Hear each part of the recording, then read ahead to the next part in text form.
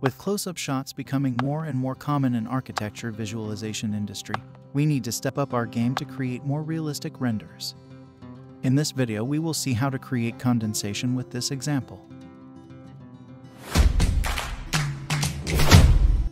I have set up a scene with these objects with basic reflection properties.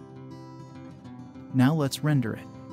As you can see this already looks good. To make it more better we shall add condensation to it. Before that, more than 80% of the people watching are not subscribed to the channel, so drop a like and subscribe to the channel. Condensation is the process where water vapor becomes liquid. Instead of using pre-made maps to create the effect, I'll create a condensation map myself. To start with I'll search for a high-quality image of water droplet.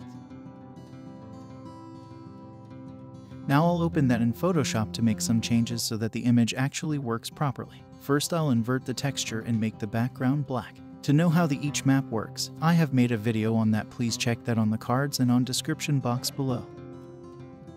To create more depth I'm using the levels and bringing up the blacks a little more.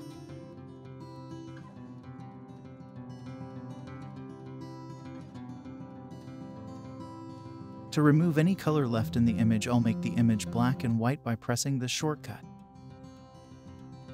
Now that we have the texture, we shall jump back to SketchUp.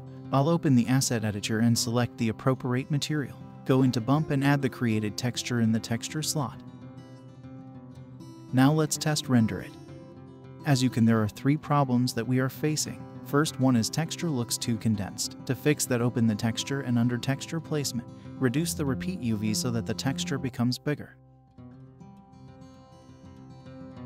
Next thing is texture placement is in wrong direction. Water droplets are moving towards left whereas it should be going towards down.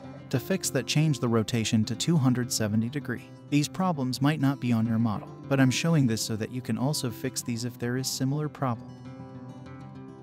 Third thing is bump amount is too much making it look ugly, so I'll reduce the bump amount value to something very less. Now let's render it. There you go, we have made condensation effect in V-Ray for SketchUp. As you can see enabling this does affect render time by 10% for me, so use this accordingly. And that is all for today guys. If you found the video useful, please leave a like and subscribe and I'll see you next time.